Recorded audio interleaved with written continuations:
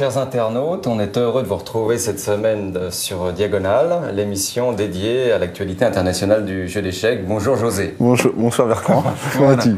Alors, aujourd'hui vous avez deux nouvelles têtes, enfin pas tout à fait nouvelles, mais on est là pour remplacer au pied levé euh, Stéphane Laborde et Éloi Relange, qui sont nos envoyés spéciaux pour le Wimbledon des échecs, c'est-à-dire le tournoi de Linares. Donc c'est la grande, c'est le grand tournoi de l'année.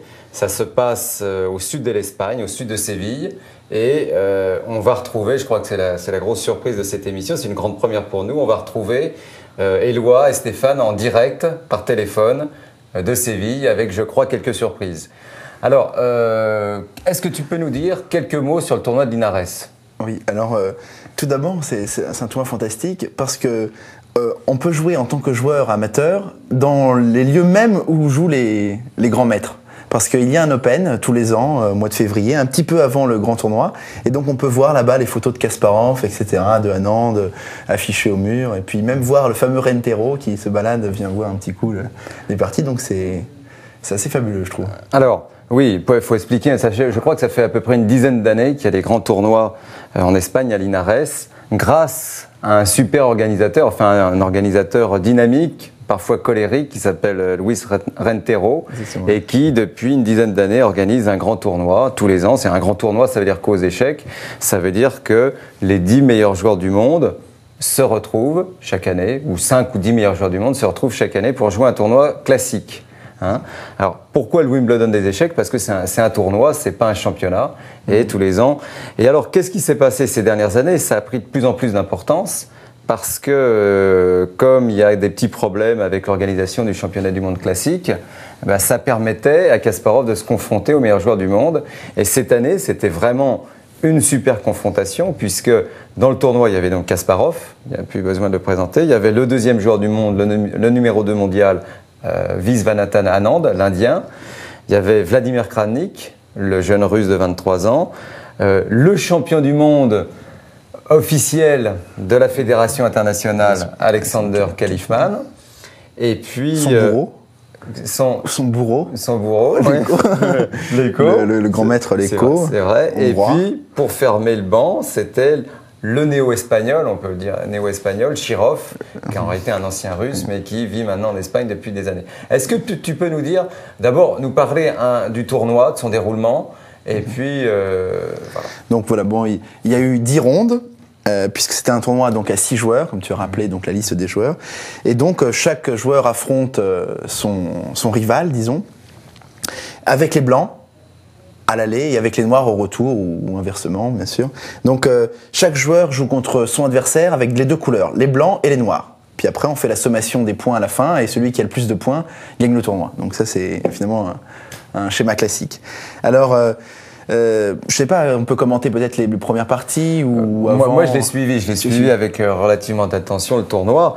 Euh, c'est d'abord, on va peut-être pas vous dévoiler tout de suite le, résultat final, mais c'est vrai que dans ce genre de tournoi, surtout en double ronde, les plus forts ont vraiment à, être les, à rester les plus forts.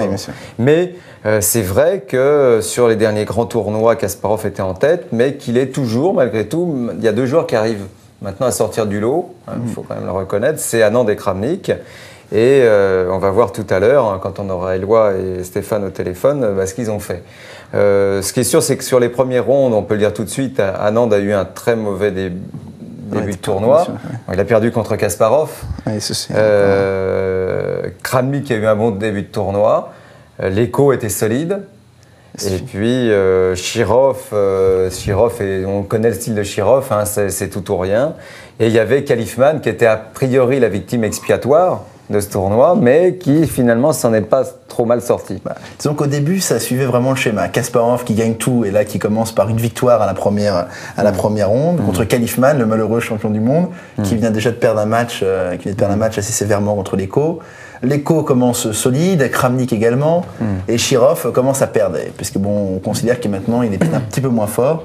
Mais bon, c'est vrai que le mauvais départ d'Anand, c'était quand même la, surprise. Bah, c'est le seul. Anand, c'est le seul qui, depuis maintenant 2-3 ans, parfois euh, arrive à résister à Kasparov. Hein, c'est aujourd'hui. Alors, on peut dire aussi quelques mots de Kalifman. Ralifman, je ne sais pas comment on, comment on prononce, Kalifman ou Ralifman. Euh, alors, quand on a dit, quand j'ai dit tout à l'heure, c'était le vrai faux champion du monde de la FIDE.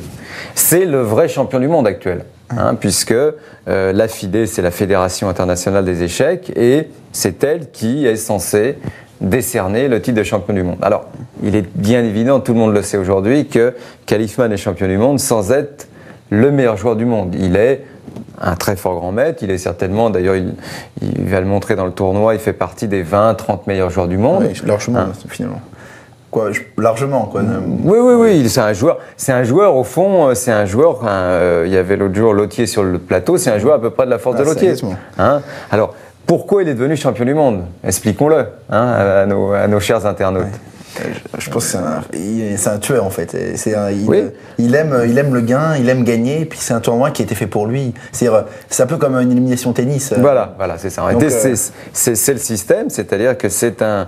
Euh, encore une fois, aux échecs, on joue classiquement en toute ronde, c'est-à-dire tout le monde se rencontre. Mhm. et effectivement, comme c'est un problème de probabilité, le plus fort a tendance à gagner. En revanche, par élimination directe, il suffit que Kasparov et Anand se rencontrent à la première ronde, il y en a un des deux qui va sortir.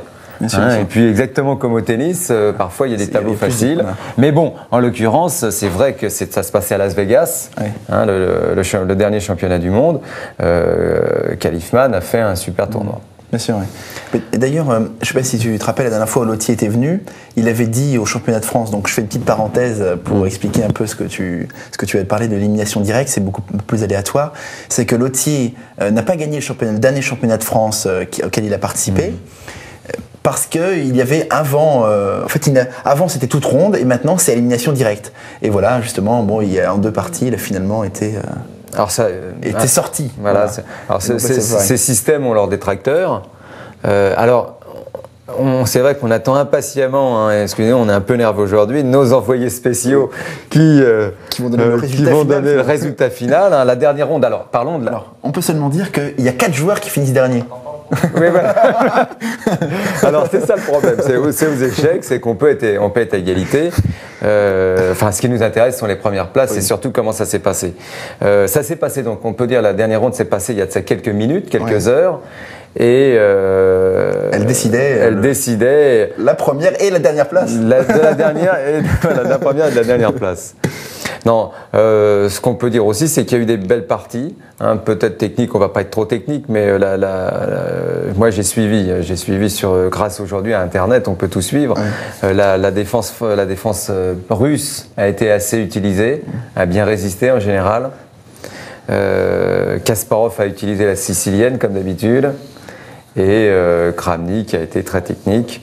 les autres joueurs, mais c'est vrai que c'était un tournoi, mis à part Anand, qui a, certainement réalisé une contre-performance. Mhm. C'était un tournoi assez, euh, assez homogène. Hein, assez homogène. Alors, c'est le problème. On l'a vu là, c'est euh, Kasparov venait de gagner avec Vikenzi mhm. en, Hollande. Euh, quand, quand, les tournois sont, sont, sont courts, effectivement, il n'y a pas tellement de, de différence et on aime, on aime qu'il y ait de la différence, c'est ça. Mais là, peut-être qu'on finalement, on peut envoyer le, on peut envoyer l'envoyé spécial. Alors, on va peut-être y aller. Alors voilà, voilà, on envoie l'envoyé. Alors, il paraît qu'on peut les avoir en ligne. Oui. Alors, allô? Oui, bonsoir. Bon, Éloi? Oui. alors, on est en direct là. Hein on est en direct et ça fait 10 minutes qu'on parle du tournoi de Linares. Alors, comment s'est passée la dernière ronde? Alors, dernière ronde extrêmement chaude puisque ça, ça déterminait la première, la première place. Euh, très vite. Oui, oui. Alors? les deux joueurs, Chirov et On n'entend plus. C'est les joies du direct, comme on dit sur TF1. Éloi Oui. Il faut que tu répètes parce qu'on t'a pas entendu là. Oui, alors, donc il y a deux joueurs qui ont fait nul rapidement. C'était Chirov et Khalifman. Euh, ils ont fait nul très vite puisqu'ils étaient derniers ex aequo, donc leur partie n'avait pas un intérêt sportif éclatant. Et euh, le suspense était sur les deux dernières parties, qui étaient donc euh, Kasparov contre Anand et Kramnik contre Leko. Les deux premiers, les deux leaders, Kramnik et Kasparov, euh, ont joué à fond euh, toutes leurs possibilités avec les pièces blanches pour finir premier détaché. Mais finalement, euh, aucun des deux n'a réussi à l'emporter. Ils ont fait tous les deux nuls et terminent tous les deux premiers ex aequo. Bon, alors qu'est-ce que tu m'entends, Eloi Oui. Qu'est-ce que tu penses? Que- Comment était l'ambiance d'abord là-bas? Alors l'ambiance à Linares c'est toujours un, un peu, un peu la même, c'est-à-dire qu'au début de tournoi les joueurs sont très contents d'être là, et au bout de deux semaines euh, dans cette petite ville, ils commencent un peu à avoir fait tout ce qu'il y avait à faire, et on sent que les joueurs sont un peu lassés de, lassés de l'ambiance euh, espagnole. Ah, Donc, euh, je je sais pas si on, en tout cas ouais. on l'entend plus du tout. Là, sinon, je peux commenter parce que je Alors. suis à la Linares. Alors, comment ça se passait à Linares ben, pendant qu'on va retrouver nos deux amis C'est vrai que c'est euh, c'est une petite ville quand même. Donc il y a, il y a l'hôtel de Rentero parce que c'est dans son hôtel qu'il fait son tournoi. Ça lui, ça lui évite les coûts de les coûts d'hébergement, etc. Et puis c'est une petite ville quand même. Il n'y a pas grand chose à faire. Il y a, il y a très peu de restaurants, de bars, etc. Donc euh, euh, bon, on s'ennuie assez vite Mais finalement. c'est charmant quand même. Oui, c'est une, une ville andalouse, donc euh, c'est c'est assez joli. Mais peut-être que là finalement il va pouvoir nous, nous donner plus de Alors. compléments. Éloi? Oui Allez, tu nous entends? Oui, je vous entends bien. Alors, on continue donc hein, l'ambiance. Donc euh, l'ambiance à Linares, effectivement, on a compris qu'on peut s'ennuyer, mais en revanche sur l'échiquier, on s'ennuyait pas beaucoup quand même. Non, c'était effectivement des parties très chaudes. Euh, bon, beaucoup de combativité, toujours Kasparov qui met la pression, une pression terrible sur l'ensemble du tournoi. Et euh, effectivement, dans l'ambiance euh, globale du tournoi, à noter la présence de très très nombreux journalistes ah. venus d'un peu partout, euh, notamment donc il y a- il y, a des Allemands, des Russes, la télévision russe qui est là, une multitude d'Espagnols, euh, plus Diagonal TV qui est au rendez-vous. Eh ben voilà. Donc il y a vraiment beaucoup de beaucoup de journalistes. Vous avez réussi à parler avec euh, certains des champions? Alors nous avons euh, donc pour la pour la semaine prochaine tous les joueurs. Ah, à l'exception pour l'instant de Anand et de Kasparov. Ah. Mais l'interview avec euh, le King euh, Gary est prévue pour euh, tout à l'heure. ah bon, bah alors ça va être fan- fantastique. Une question de José. Et, et la Kasparov n'est pas trop déçu de, de terminer premier ex aequo seulement? Oui, effectivement, c'est une mauvaise performance pour Gary Kasparov, les, premiers ex aequo. Euh, il, est- il se plaint qu'il a, qu'il a fait des gaffes tout le tournoi. Mais euh, bon, effectivement, il arrive quand même à gagner le tournoi. Il ne peut pas non plus euh, trop se plaindre. C'est un tournoi moyen finalement. Ouais. Et Kramnik, en réalité, celui, qui, c'est celui dont on doit parler, c'est quand même de, de On doit parler de deux personnes, bah, d'Anand qui a fait une contre-performance et de Kramnik surtout. Oui, alors Kramnik, effectivement, a fait une, une bonne performance. Il a joué solide, toujours son jeu positionnel euh, classique, euh, qui lui a permis de, de gagner deux parties assez, assez facilement et de n'en perdre aucune. Mhm. Euh, effectivement, à Nantes, dans une très mauvaise forme, on n'a pas réussi à savoir pourquoi. Euh, pour l'instant, on n'explique pas le- le mo- la mauvaise forme d'Anand ici à Linares. Mais par contre, la grosse performance du tournoi, à mon avis, c'est Alexander Khalifman, qui partait quand même défavorisé. hein. Il, a- il est largement moins fort en, principe que les autres joueurs. Il y avait une très grosse pression sur ses épaules. Il était représentant de la FIDE et champion du monde FIDE. Mhm. Tout le monde l'attendait euh, en- vraiment en bas de tableau détaché. Et il a quand même réussi à terminer euh, ex aequo avec tout le monde, à faire moins 1, ce qui est une performance tout à fait exceptionnelle. Ouais. Oui, enfin, c'est une performance pas extraordinaire pour un champion, ça dépend, pour un champion du Oui, monde. Disons que Kasparov est premier, c'est une contre-performance. et Bah, une bonne perf. Voilà, Mais- ok. C'est- quand même, bon, c'est- question du niveau des joueurs. D'accord, on est d'accord. Est-ce que finalement, concernant Kalifman, c'est si étonnant? Parce que lui-même disait que s'il jouait contre les meilleurs joueurs du monde, il, il ne serait pas ridicule. Que tous les meilleurs joueurs du monde jouent contre eux, et donc, euh, bon, on perd pas de points finalement quand on joue contre les meilleurs joueurs du monde. Et là, il le prouve. Oui, effectivement, que Khalifman a gagné en crédibilité. Là, il a fait une, il a vraiment bien joué. Il a perdu que deux parties. Il a fait 7 nuls, un gain. Il a dit qu'il se sentait vraiment à l'aise parmi ses joueurs euh, extrêmement forts, qu'il n'avait pas eu de problème et, et que tout s'était bien passé. Maintenant, je vais peut-être vous passer euh, donc, euh, Stéphane Laborde, Ah bah oui. qui a quelques mots à dire sur ce super Ah bah oui. Alors, Voilà, je vous le passe. à bientôt. Au revoir. Alors Stéphane, Oui, allô? Ça va? Oui, Ouais, très bien. Alors, bien. comment, comment ça C'était ton premier Linares, toi? Oui, oui, tout à fait. C'est Ah. le, le premier Linares. Euh, donc, euh, j'ai découvert, découvert effectivement ce tournoi dans cette petite ville et le fameux, fameux hôtel Hannibal. Mhm. Euh, moi, je voudrais revenir sur la performance de, de Kalifman. Euh, il a effectivement fait une bonne performance et surtout, il a pris sa revanche du match de Budapest, euh, puisque donc il a réussi à battre euh, Peter Leko alors qu'il s'était pris euh, trois bulles méchantes euh, en janvier. Mais dis-moi, l'écho, c'est quand même ton, ton préféré. Maintenant, tous les internautes de Canal Web le savent. Oui. Alors, qu'est-ce qui lui est arrivé à, à, la jeune star hongroise? Alors justement, on l'a interviewé, on s'est dit qu'effectivement on attendait qu'il fasse un meilleur résultat. Euh, lui aussi, mais euh, bon, il, a, il analyse son résultat comme étant euh, un petit peu normal après les, très bons résultats précédents contre ce Kalifman, donc son match à Budapest, et sa deuxième place ex aequo derrière Kasparov avec Anze.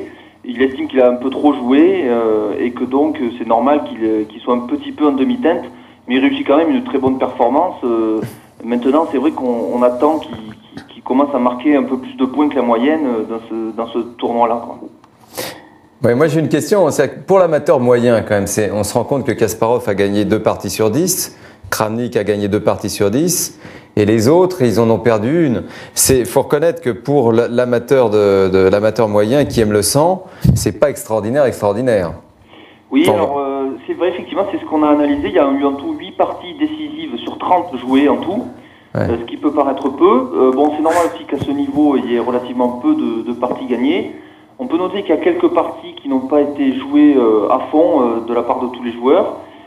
Peut-être c'est finalement la formule du tournoi qui est peut-être à revoir. On se disait avec lois justement que l'avenir de, ce tournoi d'élite passe peut-être par des matchs à élimination comme ceux de Las Vegas, où là les joueurs sont obligés de gagner pour passer le tour. et qui donc ça mènerait peut-être un peu plus de, de combat dans les, dans les parties. Je pense que c'est peut-être la solution à terme qu'il faudra adopter. Ouais. Et sinon, alors, euh, Anand, qu'est-ce que tu as, qu'est-ce que as pensé d'Anand? Oui, effectivement, Anand, euh, ben, en demi-teinte, il perd deux parties euh, au début de tournoi. Surtout, il perd contre Kasparov avec les Noirs, euh, ce qui est très mauvais pour le moral. Hum. Enfin, Kasparov, il perd avec les Blancs, pardon, Kasparov gagne avec les Noirs. donc, c'est sûr que là, ça, a dû lui mettre un coup au moral. Il, il, paraîtrait même qu'il était, après cette partie, au plus bas. D'après les commentaires sur Internet, on n'était pas encore là. Euh, ça, lui a, ça lui a donné un coup et peut-être c'est ça qui a fait qu'ensuite il a, il a plus trop eu de jus pour revenir. Il a quand même fait il a quand même fait une belle fin. Finalement. Il a fait une belle fin, il a réussi quand même effectivement sur la fin donc à, tenir un nul et puis à faire un gain. Euh, D'accord. Euh, donc à remonter un peu. Il a quand même réussi à remonter, bon, ça prouve aussi que c'est un grand champion. Oui, sur place, je sais qu'il y a, a qui traîne. Oui, effectivement, hein le fameux Lubojevic qui a éli, euh, il a éli domicile à, Linares en fait, donc il vit à Linares. Ah oui, alors, mais lui il s'ennuie pas alors? Euh, Non, il avait l'air d'être assez content. On n'a pas eu trop l'occasion de lui parler, mais il avait l'air d'être euh, assez content d'être là et de regarder les parties. Bon. Il y avait beaucoup d'autres grands maîtres qui regardaient, qui venaient voir ou? Alors effectivement, dans les journalistes, en fait, il y a beaucoup de grands maîtres tout simplement. Les journalistes spécialisés sont tous titrés. Il y avait notamment le directeur de Gambito, qui est une revue espagnole, qui est un grand maître. Il y avait aussi euh, euh, le grand maître euh, John Anderson, qui est de, écossais. Il y avait Malcolm Payne de Twig, qu'on connaît bien ici à Diagonale, mhm. qui est lui-même maître international. Donc en fait, tous les journalistes déjà sont quasiment tous des joueurs titrés. donc effectivement, il y avait beaucoup de monde, il y avait beaucoup de beau monde ici. Quoi. La concentration de forgeurs était forte. Mais et le public alors le public, eh ben, euh, ben, très bien, la salle était quand même assez bien remplie tous les jours, euh, malgré ça. Bon, c'est une petite salle, donc on peut pas mettre énormément de monde non plus. Euh, ce qu'on peut voir par contre, c'est que c'est suivi énormément, puisque donc il y a la télévision était là, et Loin n'a pas parlé, mais il y avait la télévision espagnole qui était là et qui envoyait les images dans le monde entier. on a appris, d'ailleurs, on ne savait pas que même Canal Plus France reprenait certaines images espagnoles pour passer des, donc des petits sujets dans les, dans les news de milieu de journée. Donc c'est même passé sur Canal Plus France, Canal Plus Espagne, etc. Donc euh, peu, de public à Linares, qui est petite ville et pas facile à, accéder aussi, puisque c'est en Andalousie au, plein milieu, c'est, pas, c'est un, peu loin de tout. Mais euh, la télévision, l'internet, donc beaucoup beaucoup de monde qui regarde ça de loin. Il fait chaud là-bas? Il fait assez chaud, il doit faire à peu près 24-25 euh, degrés. Euh, ah oui. oui, évidemment. Comme dans le studio. bon, l'année prochaine, c'est donc euh, nous les envoyés spéciaux et vous qui restez à Paris, quoi. Hein, c'est oui, ça tout à fait, on voilà. une tournante. Voilà. bon, bah alors, la prochaine. Bon, bah, je crois, à moins que vous vouliez rajouter quelque chose. Non, je crois que là, il nous reste le grand moment de notre voyage, puisque donc on va interviewer Kasparov. donc là, pour nous, c'est pas encore fini. C'est sûr Euh, oui, oui, normalement, il nous a donné son accord. On l'avait déjà avant de venir, et puis on l'a, vu hier soir, donc euh, ça va se faire ce soir. Donc on peut, on peut annoncer aux internautes euh, qui regardent Diagonal TV que la semaine prochaine, il y aura des, des super interviews. Ouais, tout à fait. On a déjà donc euh, quatre joueurs sur les six. Et il manque plus que Kasparov et Anand. On va les attraper ce soir. Très bien. Bon, ben, on, on- on vous salue bien. euh, et puis on vous dit à, à la semaine prochaine. Ben oui, tout à fait. Au revoir et Au à la revoir. semaine prochaine. Au revoir. Au revoir. Maintenant, on va passer aux choses sérieuses, non? Ben, alors maintenant, maintenant euh, on a choisi une partie pour vous faire plaisir, qui est peut-être finalement au fond la partie décisive du tournoi. Hein, c'est la partie entre euh, Anand et Kasparov. C'est une partie importante parce que ce sont, en tout cas au début, les deux favoris. Euh, on peut peut-être parler, maintenant ça fait pas mal d'années que ces deux joueurs-là se rencontrent, donc on peut peut-être parler de leur historique entre deux. C'est vrai qu'à il y a de ça une dizaine d'années, je crois que c'était à Reggio Emilia, et dans un autre tournoi, peut-être à Linares, a réussi à prendre deux parties sérieuses euh, en très peu de temps à, Kasparov. Alors d'abord, euh, ça lui a pas plu au King. Déjà à l'époque, ça lui, lui plaisait pas beaucoup. Et c'est vrai qu'il y avait très peu de joueurs qui étaient capables de lui faire ça. Et surtout, Anand avait 20 ans à l'époque. Et c'était la manière. C'est-à-dire que Anand, c'était tactique. Il le prenait sur, un- sur son terrain. Il se faisait pas dominer tactiquement. Et puis aussi très très rapide. Donc, euh, Oui, c'est ça, c'est ça. Alors, il faut savoir que, faut, faut savoir qu'on va, on va reparler de ces deux joueurs. Euh, c'est qu'Anand avait l'habitude, un peu moins aujourd'hui, il vieillit, mais avait l'habitude de jouer ses parties longues en une heure. Parfois même, je crois qu'il a joué des parties en un quart d'heure. Ah sont Hein, C'est-à-dire à une vitesse étonnante. Et ça, euh, le grand chef, il aime pas du tout. Bon, c'est vrai que c'est difficile de jouer contre un joueur qui joue très vite Bah comme oui. ça, ça. Ça a perdu, on se dit, il me prend pour un poireau. ou- Et, et alors, ça, c'est ça qui est phénoménal chez Kasparov. Hein, qu'on l'aime ou qu'on l'aime pas, il faut, il faut, faut admirer le bonhomme, en tout cas le joueur. Bon, pas le bonhomme, mais le joueur, c'est que quand il est vexé, après, c'est terrible. C'est terrible. Et il a eu la chance de jouer dans les tournois qui ont suivi, dans les années qui ont suivi. Ils ont, il a eu la chance de jouer contre Anand, surtout avec les pièces blanches. Et c'était des massacres. C'était des massacres, c'est-à-dire que lui, il jouait E4, surtout, euh, Gary, et Anand répondait par C5. Et euh, ça se passait très mal. Et il faut reconnaître Alors après, il y a eu le fameux match en 95 à New York, où Anand a superbement bien joué pendant 15 jours, hein, puisqu'au bout de 9 parties, euh, Il avait 4,5, 4,5, je crois. il a même mené le match. Il a gagné la première moment. partie. Il a gagné- il a, il a il a mené gagné le la, fin, le- la, huitième. Il mène le match. Et puis après, le, il s'est réveillé. À ce moment-là, en plus, Kasparov n'était pas, c'était pas une période de, de- de sa vie où il jouait très très bien. Mais il a, il a du mal. C'est, il, a, il a du mal. C'est-à-dire que les, duels euh, entre deux ont tendance à tourner à l'avantage de, euh, de Kasparov, peut-être pour des raisons psychologiques. Oui, en plus, bon, euh, euh, Kasparov, c'est un, professionnel des matchs, en gros. Et Anand a, a dû avoir un coup de, un- une baisse d'énergie d'un coup, et puis Kasparov, lui, une 8 parties, c'était le début du match. Quand Hmm. Ouais. il, jouait. il en jouait 40 contre Karpov. Ouais, ouais, Huit, 40, c'est- euh, c'est- 40, 48. 48, Six Huit, mois, c'est- le début, quoi. C'est le début, bien sûr, non, non. C'est l'histoire de. C'est l'échauffement, disons. exactement. Et bon, après, il a explosé, qu'Anand. C'est Je sûr, pense qu'un match, bon, ça, ça se. Finalement, ça se regarde sur toutes les parties. Ça se regarde sur toutes les parties Et puis, il est très hein. fort. Ouais. On va le voir dans cette partie, il est très fort. On va la regarder.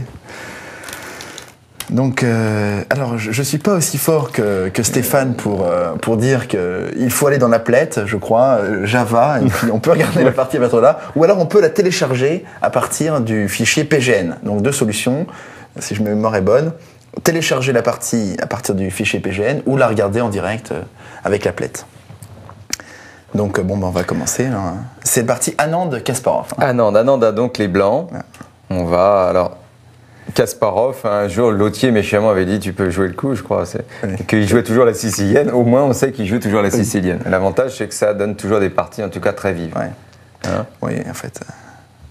très vives. Et puis c'est finalement l'idée est assez est, est assez intéressante. euh, Alors euh, si j'arrive à, à- alors l'idée est assez intéressante puisque il s'agit de contrôler la case euh, des 4 hop Voilà. par un pion de l'aile. Hop. Et voilà. Voilà, c'est l'idée principale. Et puis, ça crée une position asymétrique. Et on, on échange Voilà. un pion du centre contre un pion. Voilà, euh, donc, donc, euh, les noirs sont les mieux. noirs sont Donc les noirs sont mieux. Mais il y a- un grand maître, le grand maître Do- Joseph Dorfman, Oui. qui était champion de France, dit déjà qu'avec les, les noirs, euh, 4-5 c'est un bon coup, et les blancs doivent jouer pour l'initiative, sinon ils, ils se font écraser. Ouais, moi je pense que c'est le, c'est, euh, le coup le plus agressif. Le coup de Kasparov, c'était le coup de Fischer aussi. hein.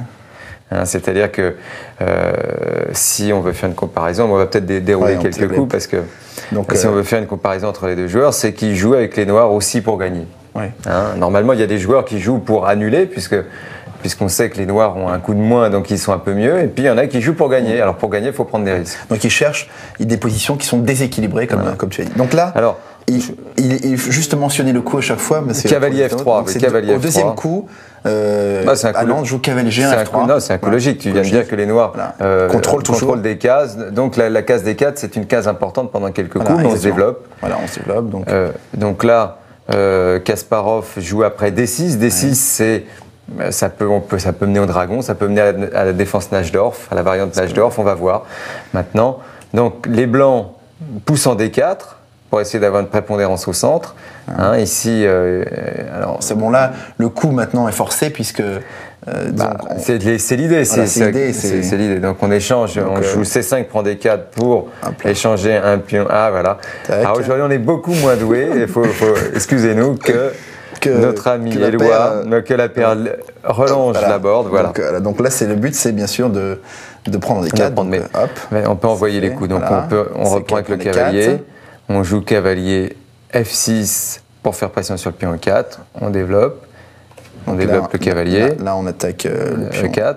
E4. Voilà. Ça c'est donc là. On le défend. On le défend avec un coup très naturel, un coup de développement. Cavalier. Et là maintenant on joue un coup très important, c'est le coup A6. Alors ça j'ai une petite anecdote justement, Eloi n'est pas là. Et je crois que c'est pendant une des précédentes émissions ou pendant une analyse avec Stéphane il y a de ça quelques jours, euh, on parlait de la manière dont, dont, euh, Kasparov jouait le système sicilien.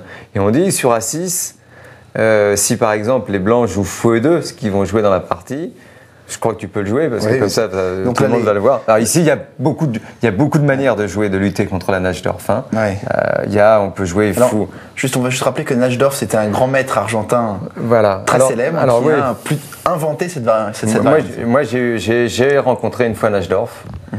Euh, Peu de temps, il est mort, il y a de ça peu de temps. C'est un homme qui est mort à 86 ou 88 ans, il y a de ça 2-3 ans. Il était passé dans l'émission euh, avec Étienne Bacro, Étienne et Matt. Mhm. Et Étienne euh, l'avait interviewé. Et c'était, mais c'était un, ah, c'est un phénomène, c'est une légende. Il était euh, d'abord le plus fort joueur argentin. C'est un, et puis c'est un homme qui, tout en, est- il a été à un moment donné numéro 5 mondial. Hein, c'était un joueur très inventif puisqu'il a aussi créé cette variante.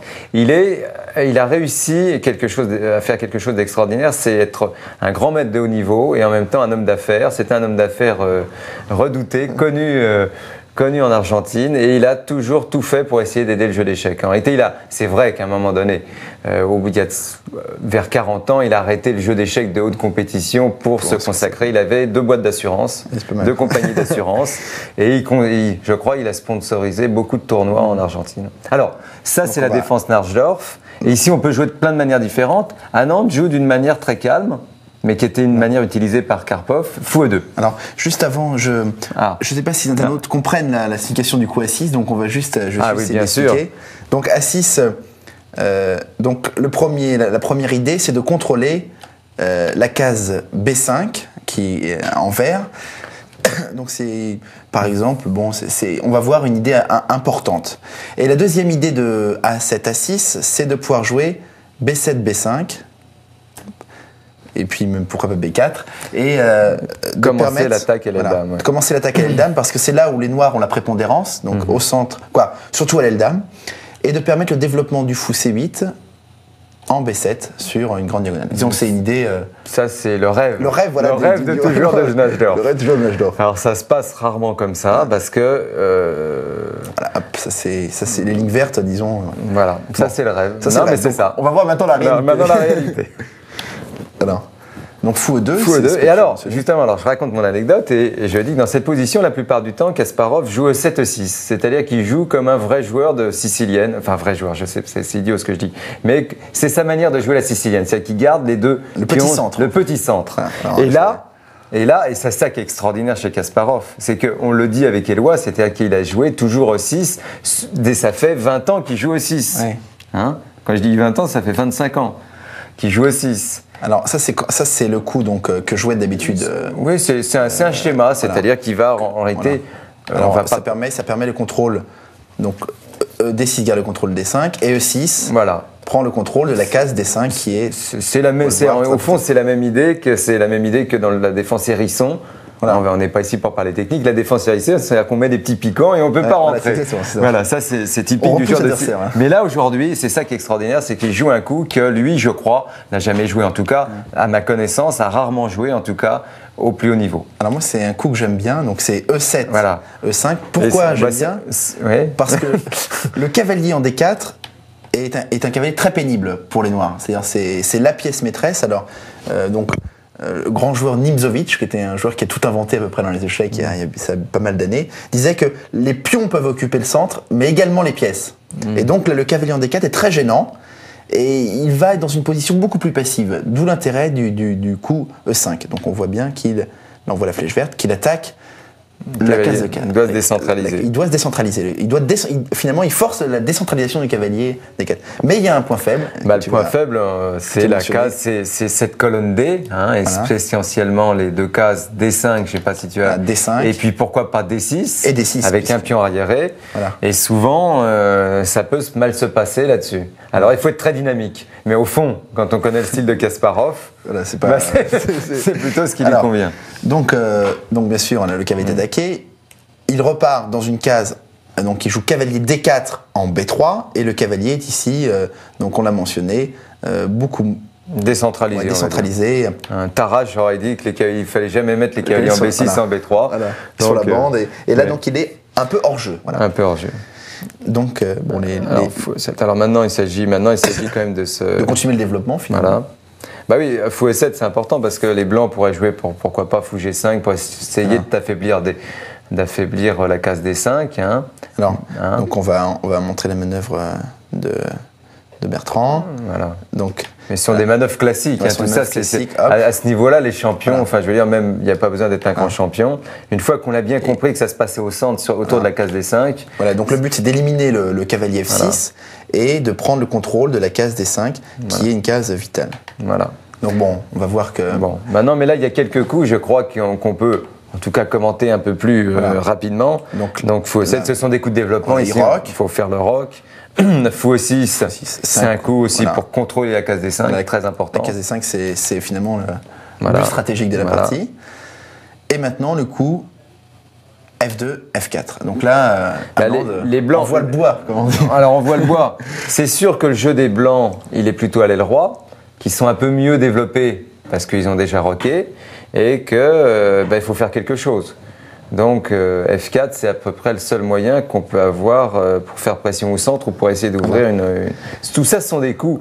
J'ai pas la théorie en tête. C'est dommage qu'Éloi soit pas là. Mais euh, mais tout ça, ce sont des coups plus ou moins logiques. Alors, Hein. le but de F4 donc, est double, soit d'attaquer le centre, donc ici on voit bien que le pion F euh, en F4, hop, je Oui, on crée. Tu- Voilà. Tout à l'heure, tu, tu- tu parlais Merci, de, de. Oui, Euh, Il y a eu un autre qui était, mais qui était son, c'était son disciple, c'était Hanks Mosch, Oui. qui a écrit L'art de jouer les pions. Et il parlait justement, ou Max Euwe, je sais qu'il parlait de, de- de pions qu'on met en, dirais-je, en, en friction, Friction, oui. pour pouvoir créer un déséquilibre. Le jeu d'échecs. Au fond, on va philosopher, puisqu'on n'est pas capable. Ici, il n'y a pas de variante. On va philosopher. Le jeu d'échecs, c'est un jeu équilibré.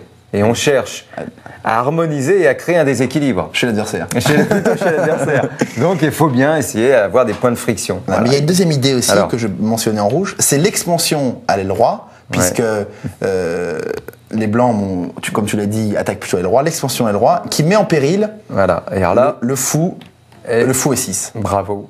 Parce Donc- que c'est maintenant on comprend pourquoi. Donc euh, Kasparov joue Dame C7. Voilà.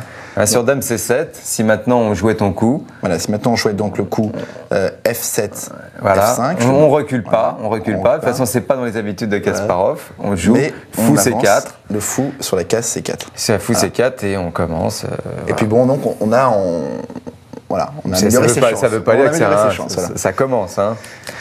Mais je crois qu'il y a des joueurs qui ont joué comme ça. Oui, c'est pas si ouais, simple. ouais. Ça Ou s'est même- joué comme ouais, ça. ouais. Alors là, Et là, et là, alors là, c'est là où je suis malheureusement. C'est vrai que cavalier D5, ça normalement, c'est un coup complètement antipositionnel. Oui. Alors on va le dire, on- évidemment si Anand le joue, c'est le deuxième joueur mondial, je vais pas me permettre de, de- évidemment de, ju- de juger son jeu. Et puis il le joue avec certaines idées. Mais pourquoi c'est anti- antipositionnel Si on suit euh, ce qu'on a dit tout à l'heure, c'est que maintenant les, les Noirs vont pouvoir échanger en D5, tout simplement, et la fameuse faiblesse de cette case va se disparaître puisqu'il y aura un pion. Oui, alors déjà, donc je la mets en vert, donc la- la- la- on, va- Hein on va le voir Ouais. ça. juste. Mais on va le voir, je crois. c'est- Donc le pion D6 aussi ne sera plus attaqué Voilà. sur la colonne D, mais l'avantage de ce coup, Ah bah bien sûr. alors parce que bon, il- Bravo, José. Lénard. l'avantage de ce coup, Ouais, c'est ouais. que et peut-être et la faiblesse aussi, c'est que on, on va, on va le voir un peu plus tard, donc je ne vais Mhm. pas développer, mais à mon avis, où, où sa faute, c'est que ça mène, ça mêle jeu à l'aile roi et jeu à l'aile dame, et c'est là où, à mon avis, ça a pêché. Mais on va voir l'idée que d'Anand, alors donc, donc bien sûr Kasparov est, forcé d'échanger cette bête qui Mhm. attaque, qui attaque toute la position noire, donc on va ça, ça peut être mentionné, qui attaque euh, la dame en oui, C7. On peut pas tolérer une pas tolérer. bestiole là-dessus. On ne peut pas tolérer. Une bestiole sur la faiblesse. Le Voilà. le 7, etc. Voilà. Donc il Donc, est on forcé. on échange. Hop. Alors c'est vrai qu'il gagne la paire de fous au passage. Non, Hein, il on gagne la paire de fous. Bien sûr, il y a quand même, en tout cas, des âmes. Mais au fond, il, il donne le genre de position. Alors, C'est facile de le dire après. Il donne le genre de position qu'a Kasparov, c'est-à-dire un peu plus de liberté Ouais. au centre. Et puis euh, une belle. On va voir la suite de la partie. Donc là, on est obligé Là- de reprendre donc avec. là, on reprend avec le pion. Et maintenant, l'idée au fait euh, de, de- d'Anand, c'est maintenant de jouer à dame, puisque on voit qu'il a. Donc là, on peut compter les pions pour les, pour, pour les, pour les noirs. Il y a trois pions, d'accord? Et tandis qu'à dame, maintenant, pour les blancs, Ah non, dans la 4. en un an, on en a quatre. Il y a, une, il y a ce qu'on appelle une majorité. Une majorité. Et Une donc- majorité. Mais. Et euh, donc, il- maintenant, il va essayer de, de la pousser et de rendre son cavalier B3 euh, bah, actif, en fait, parce que son Actif. cavalier B3, ici, il est. Alors, est peut-être peut-être que c'est- nous qui sommes, euh, euh, qui sommes un peu sévères. euh, C'est peut-être après, la, la faute est après. Mais Ouais. Mais disons que moi, ce qui me dérange, au fait, c'est mêler le coup, là, que je mets en rouge, F4. Donc, un jeu à l'aile roi avec un jeu à l'aile toi, t'es un joueur, t'es un joueur harmonieux. T'es un joueur classique. Soit j'attaque l'aile roi, soit. Voilà. On fait jamais les deux ensemble. On va voir la partie. Mais euh, bon, on va voir. Faut, faut Donc, avancer euh, un petit peu là parce que. Il joue cavalier BD7, donc Ouais. il se développe, et en même temps, il sécurise son point ici, euh, E5. Et là, voilà, les, les- les blancs, hop, prennent l'expansion. maintenant, il y a quelques coups assez logiques. Ils- Hein, ils prennent l'expansion Ah, Il faut faire quelque chose quand même. hein. Donc petit roc Petit pour les noirs, Et là, roi H1. un coup prophylactique, puisque Ouais. ici, euh, donc je montre que sur la diagonale, la G1 à 7, il peut y avoir des, des petits troubles. Oui, la, la diagonale Voilà. est ouverte. Il aurait pu jouer fou et 3 dans ce genre de. C'est le genre de coup que les, les- les grands champions affectionnent Voilà, de nos jours. Un petit, un petit coup prophylactique, ça s'appelle hop, je mets le roi sur la bande et donc. Pas de problème avec la police, comme on dit dans les, dans les bons sacs d'échecs. Voilà.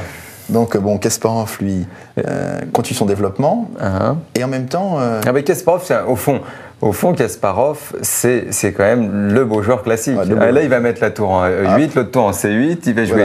Tout va venir comme il faut. Donc là, bien sûr. Alors, vous me direz, c'est pas, c'est- bizarre de mettre une tour euh, sur une colonne qui, qui est bouchée, mais comme il y a des points de friction, euh, là en F4 Bah, et en je F5, je dirais elle est bouchée, mais enfin, il y a, y y deux cas de figure. Soit de toute façon, les, les blancs, euh, les noirs jouent E prend F4, ils l'ouvrent quand ils veulent. Voilà. Soit ils peuvent aussi, parfois, on sait jamais, jouer E4, et il y a un gros pion passé quand même. Donc, c'est, disons, c'est un coup un peu comme le coup précédent, un coup un peu prophylactif, Oui, mais préventif. sauf, sauf que celui-là, il sert à quelque chose. Oui, Roi H1, il n'est pas si mal il est peut être pas si mal. Bon, euh, les, les blancs les, les- les blancs continuent de développer leurs pièces, puisque le fou C1 est la seule pièce qui n'a pas été développée, donc je montre Ouais. ici, hop, en rouge pour montrer que une petite faiblesse. Et donc, il le développe en E3. Fou E3. C'est logique. Ici, oui, il n'y avait pas de. voilà, on échange. En parlant, je, je, je vais avancer un petit peu. Donc, euh, et là, Kasparov justifie finalement son, le, coup, euh, euh, le coup précédent et il prend. Il attend, il attend que le fou C1 il jouait quand même. hein. Voilà, il y a eu des petits chantages de temps avec Roi H1, Voilà, tout ça. hein. il- Hein, euh, c'est normal. Tout Non, ça, mais- tout ça, ce sont des, des gentillesses de champions. Ben, disons que le coup précédemment roi H1, bon, il y a finalement les, les, les gros maîtres, euh, une théorie qui dit qu'il faut jouer les coups utiles d'abord. Et donc H1 c'est un coup utile, ne pas en danger la position. C'est une Ah, théorie, ça, les coups Ouais, utiles d'abord. Les coups Ah utiles bah, d'abord. je l'avais. Que- On n'a pas dû lire les mêmes bouquins. mais- les coups utiles d'abord parce que Voilà. euh, bon bah il- les coups de développement c'est les coups utiles par exemple. D'accord. Les coups utiles d'abord. Et donc euh, il, il- il attend finalement, Kasparov et, Anand attendaient tous les deux le développement du fou en C1, Voilà. et donc c'est fait. Et Donc là, on hop, prend. maintenant, et il prend le F4. Donc on voit bien que ici, euh, voilà. Donc hop. maintenant, au fond, il y a une pièce qui n'est pas très bien placée, c'est le fou, F- fou F7. Voilà. Il va le recycler. donc là, je montre qu'il y a eu deux temps pour aller pour prendre Ouais, le F4. ouais. hein. Hop. Mince, je Voilà. pas, sauf que je suis pas doué. Et Ben non, mais je crois que- oh, allez, hop. Hein Et deux temps, voilà. Donc euh, on va on, on va quand même accélérer. Parce qu'il y, a- y y quand même une position critique, et puis la, Voilà. la- la finition de Kasparov est est assez. belle. Donc fou F8, ça c'est un coup hein, qui De recyclage, de recyclage hein, et de puis qui finalement ouvre la, la- la- Voilà. la colonne. Alors ce qui est merveilleux des fois quand on voit Kasparov, c'est que il joue un coup et puis il pense à quelque chose et ça se réalise. Voilà. Alors que des fois, moi je joue des coups et puis Voilà. ce que je Bah pense ça ouais. se réalise pas toujours. Bon, tant pis. Donc euh, là, Tour C1. Donc tour là, C1, lui, il continue. le- il a envie de jouer C5 un jour. Hein. Ouais, il a envie d'activer son, Il a envie de jouer- son cavalier jouer en C5. B3, et puis euh, hop, il a, il- son cavalier qui est toujours, on, va, on met en rouge, toujours un peu mal placé, il va essayer de l'activer et de, de jouer C5. Mais c'est vrai que bon, quand on regarde la position, on a quand même l'impression que les pièces noires sont déjà un peu mieux coordonnées. Sont plus harmonieux. sont plus harmonieuses. Dame B6. Donc Dame 6 maintenant le fameux, là, il- Mais il veut plus, il l'embête. Ça, ça, c'est un beau coup prophylactique. Il a pas envie de jouer que l'autre joue cavalier D4 quand même. Hein. ouais. Ça vois, hop, déjà. finalement, euh, Ouais, oui. euh, eh oui, oui. euh, en plus peut-être euh, qu'il Oui, y ça empêche un, cavalier D4 surtout. un retour du, du cavalier. Ça empêche cavalier D4 parce qu'il y aurait dame prend B2. Voilà. C'est embêtant. Donc, il- parce que c'est comme tu dis, le cavalier D4, que le cavalier, quand il revient vers le centre, donc là, qu'est-ce qu'il a joué euh, Donc Il a joué tour C- une il a joué- sur B2. Il a joué tour Voilà, C2. il joue tour C2, donc euh, défend latéralement Ouais, le pion B2. et puis ça qui est- prépare cavalier D4. qui est une petite faiblesse quand même. hein. Ouais. Voilà, voilà. on met la faiblesse Et en là, rouge. et là euh, Gary joue, joue- joue G6. Il, veut, prend, il prend, ça permet de jouer fou G7, Voilà. donc recycler le fou. Et en même temps, si un jour le cavalier arrive en D4, il ne pourra pas aller en F5. Voilà. Non, tout y est quand même. Là, c'est faut reconnaître que faut regarder le jeu des. Moi, je- moi, j'adore Anand, mais faut, faut, on ne peut qu'être admiratif dans, dans le jeu là, de il y a un Kasparov. deuxième, un deuxième problème. Donc le premier problème, c'est quoi Le premier problème pour Anand, c'est déjà que le fou F8 va Ouais. être activé, mais son problème à lui, c'est le fou E2, parce que ses pions sont sur la couleur des cases blanches Ouais. et les pions de l'adversaire aussi, puisque Ah. il vient de jouer G6, et Donc ça a- limite encore l'activité. C'est typique du mauvais Voilà, fou. il C'est le- fou, il limite son activité. Donc bon, bah, Alors, il essaie de le mettre en F3. F3 pour essayer de le rendre un peu plus actif. Voilà. Comme tu disais, Kasparov, Ah non, mais ça vient sur les. C'est- Il joue tour C8 et toutes les cases arrivent. C'est comme. tour un. c'est un, euh, les pièces sur les bonnes cases finalement. C'est un. ouais. Voilà, hop, et bien sûr, hop, Et maintenant, alors, voilà, on continue. Donc lui, en revanche, casse, euh, Bah, il- euh, il... essaye de recycler ses pièces. Voilà, donc le cavalier, le cavalier en B3 était assez mauvais, donc il essaye par cavalier C1 Oui. de revenir en jeu. Alors on peut mentionner que peut-être qu'il peut essayer, je sais pas, de. On va voir après pendant la partie. Moi, je dois dire que quand je joue par coup, voilà, cavalier D3, il l'a jamais joué. Ouais. On va continuer. Alors, Cavalier E5. peut-être que, hop.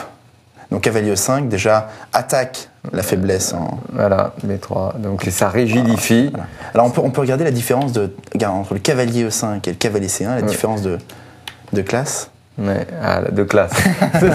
il joue pas dans, les- il joue pas dans la même, euh, dans la même cour. il joue pas dans la même cour. Ah, il y a, Ah, eu- il y a un petit. B- Voilà, voilà, un petit bug. B3. Alors on continue. Donc B3 défend le pion. Oui, C4. oui, on a l'impression que Ca- Canon ne fait que se défendre finalement. Ah non, mais maintenant, vous allez, on va voir la suite de la partie. C'est c'est diabolique. Hein.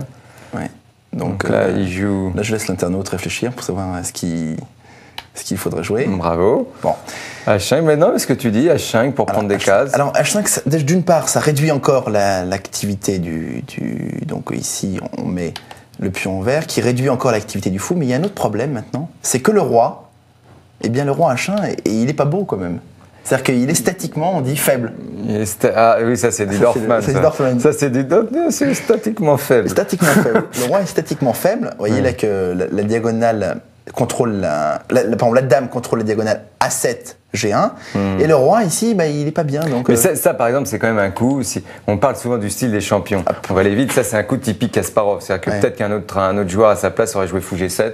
ouais. Et fou G7, à mon avis, ça devait tenir la route aussi. Je- mais en fait, le, le truc, c'est que Kasparov, je pense qu'il, comme il comprend très bien la, la position, Ouais, il... il- a joué depuis qu'il avait Ouais. 6 mois. et donc, euh, il- là, il voit le roi qui est faible et Jean, il va. Et puis, à mon avis, ça doit quand même impressionner Allende, je pense aussi. Et Pas- d'ailleurs, il- et puis là, Voilà. Ah, aïe, il s'est passé un petit, un, petit- un petit bug. voilà. Donc, euh, alors, on, va, on, va, on va y remédier. Je sais J'espère. pas comment. Voilà, c'est ça. Donc, euh, Voilà. on va revenir à la. Hop. Alors, Alors, on était là. on était là. Je trouve Euh, que c'est. Ouais, vas-y, c'est- continue, continue. Voilà, encore. Donc là, c'est le, encore. c'est le truc automatique. C'est ça qui m'inquiète. Assez automatique. Non, C'est automatique. Donc là, on, on redéfinit un peu la partie. Dame B6, tour Il C2, faut- tour AG6, fou Ouais, F3, fou F3, toi, c'est tour C8, KC1, cavalier E5, B3. Mhm. Donc ça, on a déjà vu. Et H5. Et maintenant, il faut que ça s'arrête. Voilà. Et ça s'arrête pas. Bon, Alors, il- On va aller. bah là, il y a, il y a- Ça, ça, ça s'arrête pas. Donc là, c'est sûr que là, ça va beaucoup plus vite. Il y a un petit peu. Bon, attends, on- on- je, je connais la solution, c'est hop. Voilà, exactement. Voilà. Alors, Donc, euh, on va revenir un petit peu en arrière parce qu'il y a eu un petit, un petit bug. donc il a joué H3 déjà, Donc voilà. effectivement. Donc il, a, H5. il, a tiré, il a tiré une faiblesse. On revient à la H3. partie. Fou G7. Donc, fou G7. La, Voilà, là maintenant, fou- toutes les pièces de Kasparov sont sur les bonnes cases. hein. C'est hein. c'est- même G7, l'école des échecs. Donc cavalier contrôle, E2, Hop. cavalier E2. Là, on va surtout regarder, parce que je crois qu'ici, on va dire, si on devait juger cette position, on peut dire que les noirs sont euh, léger- bon avantage noir. Ouais. Donc on va pas, euh, surtout qu'il ne nous reste pas beaucoup de temps, on va pas essayer de commenter les coups des, des blancs, mais ils jouent cavalier E2, c'est-à-dire qu'ils essaient de Là, recycler. essaie toujours de recycler son. Il essaie de recycler son cavalier. son et là cavalier maintenant, là maintenant, ça c'était un coup qui a été très controversé.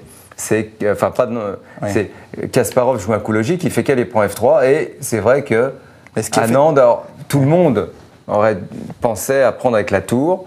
Hein Alors, peut-être que. Alors, Déjà, cavalier prend F3, ça paraît bizarre parce que le cavalier ici est superbe, oui. tandis Mais- que le fou là est, est mauvais. Mais je pense que c'est un coup mais je- tactique en fait. mais non, mais c'est simple. Moi, j'ai réfléchi un petit peu tout à l'heure. Tu m'avais demandé de le faire.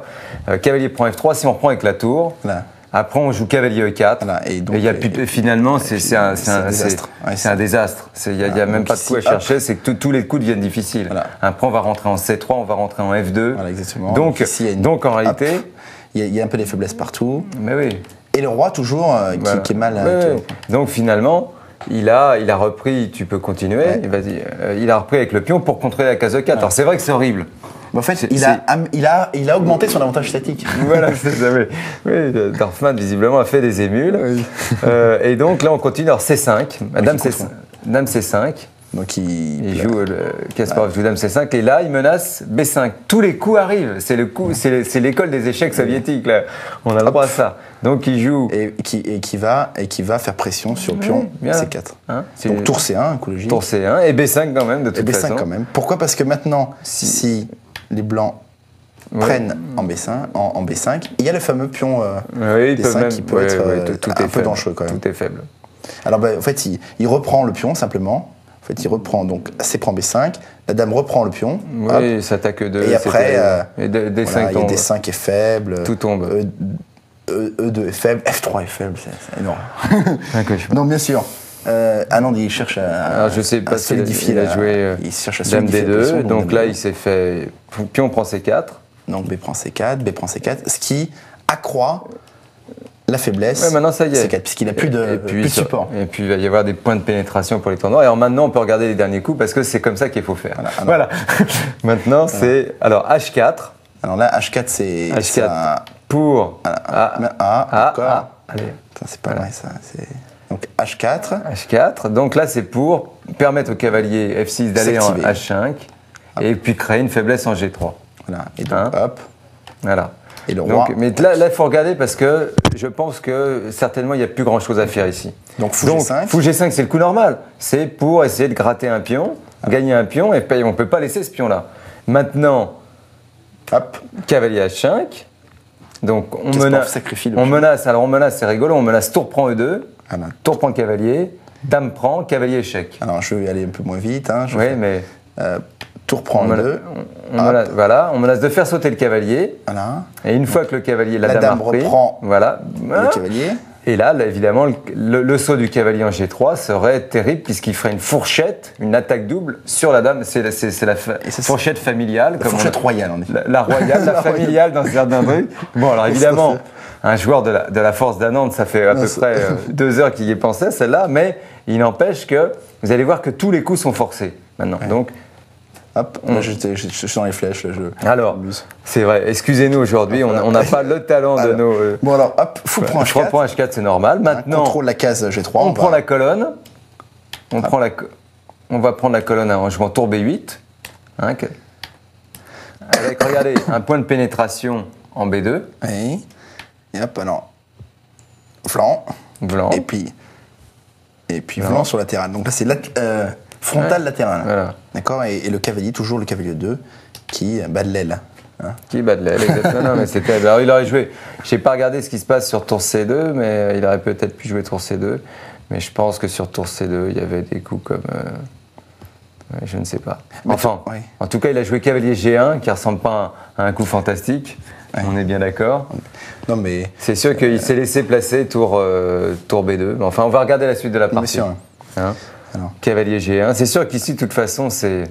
Mais là, en fait, tour C2, c'était un, coup euh, très passif, disons, peut-être même. Ouais, euh, bah, cavalier G1, tu trouves que ouais. c'est super non, non, mais disons que c'est pas super actif. Mais y a comme, c'est tellement mauvais. le- Ah bah non, mais bien sûr, on, on se rend bien compte, même visuellement, que, que les pièces blanches, elles sont pas à leur Même un coup, par exemple, comme, comme roi H7 ici, après, après tour Oui. C2. Toi, ouais, Et chef, hop, euh, et, le- ouais. fou euh, peut se réactiver peut-être dans ses diagonales. Voilà. Voilà. Une- Tu serais pas un doucement. tantinet vicieux quand même. Alors on va pas, on va pas faire souffrir le pauvre Anand. Non, lui, non, il a joué cavalier G1, Donc voilà, KG1. cavalier G1. Tour euh, B2, le Tour coup. B2. Et maintenant, alors, Non, hop. donc ça attaque la dame, ça attaque la dame et euh, euh, ça, évidemment, ça prend la, la seconde rangée, la fameuse, enfin septième quand on parle des noirs, la seconde rangée. Alors théoriquement, on dit d'ailleurs que la, la septième vaut un pion. La septième, là, ouais, bien. là- Mais là, là, à mon avis, elle vaut plus. Alors évidemment, Alors, euh, le seul coup, le seul coup. Donc en rouge, c'est toutes les faiblesses. hein, oui, des- c'est tout ce qui est attaqué. tout ce qui, tout ce qui va être prenable. Donc, euh, euh, bon, pour un pion, c'est vrai, les, les noirs ont un pion de moins, Ouais. mais il y en a quatre qui peuvent, euh, Mais non, mais- qui peuvent être récoltés bientôt. Donc tour C2. hein, Tour c'est- C2. Et alors là, évidemment, alors on vous laisse regarder deux, deux secondes. Genre de coups qui font lever le les foules dans les, dans les tournois, mais pour Kasparov, c'est euh, c'est monnaie courante. Donc là, je pense qu'il avait vu tout ça. C'est ce qu'on appelle un pseudo-sacrifice dans le jargon. Donc bon, euh, on y va. Donc là, Alors, hop.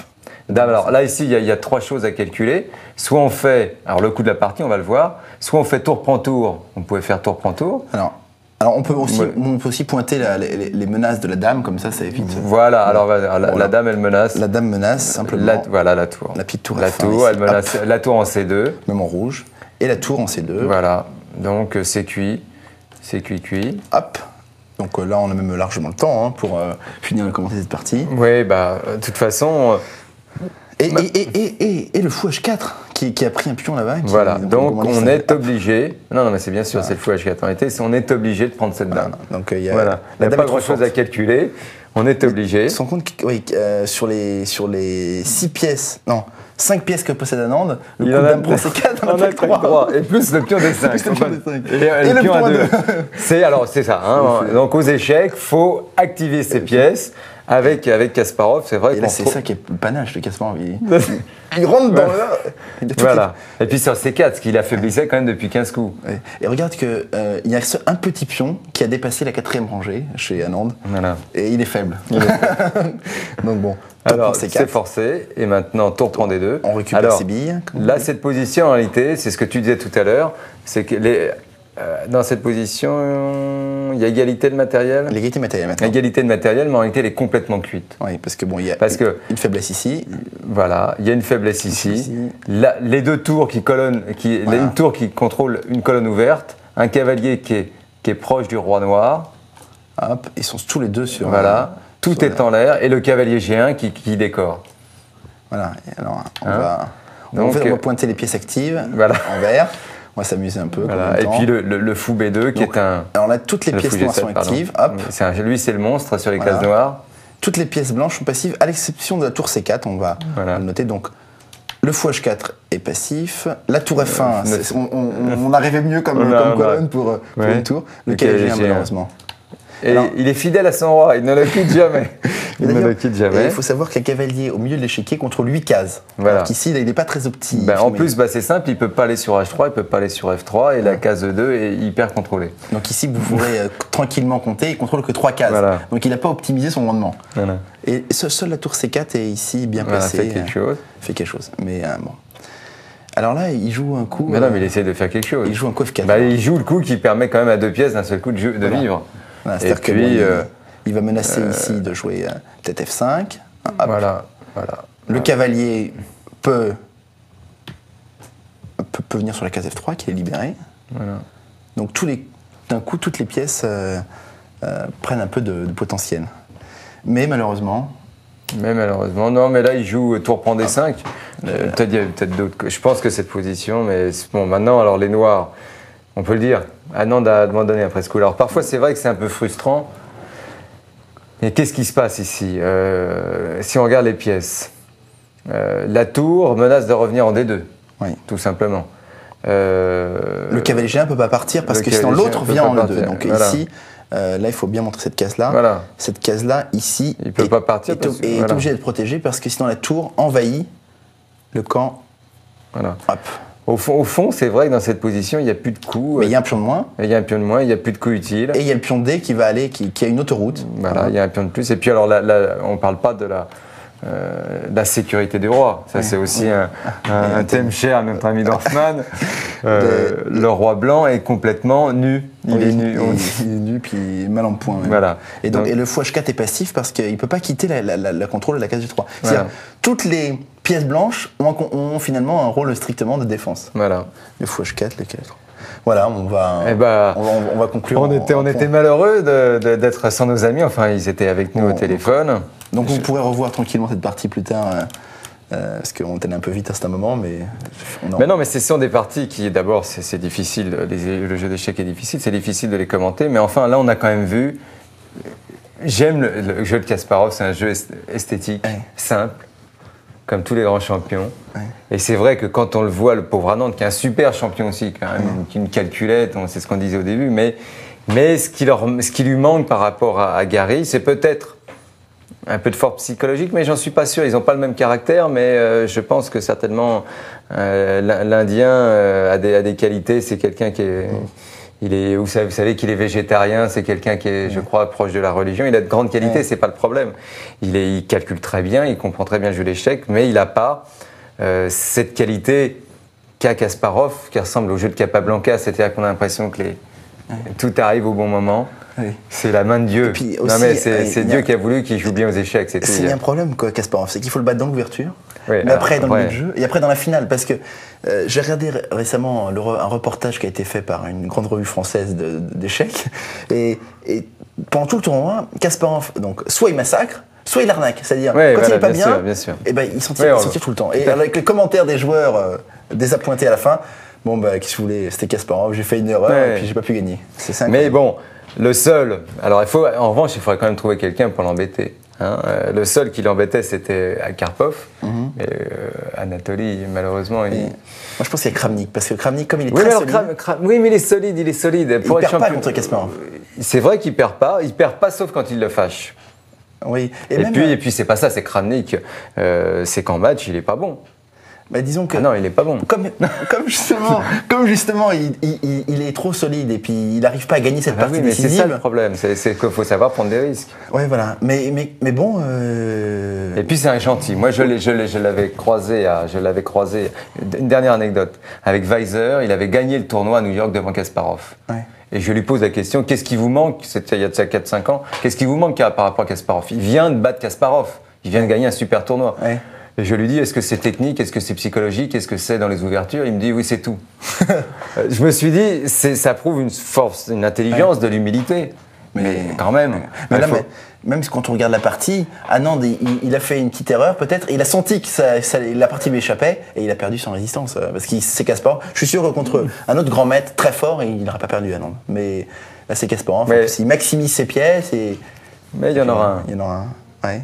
Bon. Bacro je crois qu'il faut surtout dire au revoir à nos chers internautes. Et puis on vous retrouve la semaine prochaine. Enfin, vous allez surtout certainement trouver Stéphane et Éloi qui vous raconteront euh, euh, comment ça s'est passé à Séville. Bon, à. Séville, à Linares, pardon. Au revoir. Au revoir.